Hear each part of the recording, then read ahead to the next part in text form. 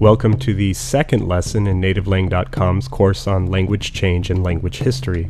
This time around, we're going to look at the kinds of concepts we need to be familiar with in order to evaluate whether or not two languages are related and how they're related, how closely they're related.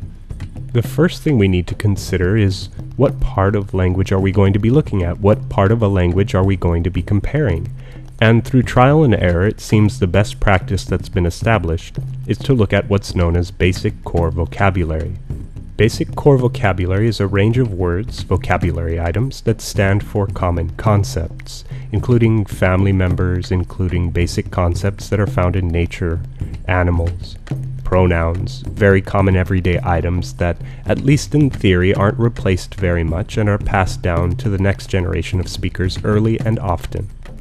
We'll also need to know what to look for when we compare the basic core vocabulary of one language to another. When we look at vocabulary items, which are just single words, what we'll find is that when two languages are related, they'll share a resemblance, a common root. So the two vocabulary items will ultimately derive from the same common source. We use the word common to mean that at one time they were the same, but they diverged over time, in different areas, in different speech communities, into distinct words in two different languages. But suffice it to say that cognate is just a term for saying that these two are related words that come from some common ancestor. That's what we're looking for to establish a relationship. But that's not the only reason that two words would look similar. Two words might also look similar to each other due to chance, in other words, randomly over time, especially with small words in languages, we'll find that similar words, similar sounding words, will stand for similar concepts. So we might find that the word for water in one language resembles the word in a completely unrelated language, and the two words may not be related at all. When one language comes into contact with another language, it often borrows words from that other language. It takes words especially for concepts that it doesn't already have. For example, in English we borrow the word café from French café.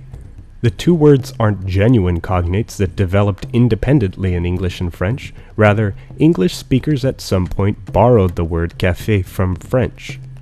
The same analysis helps us when we look at the basic core vocabulary list of English.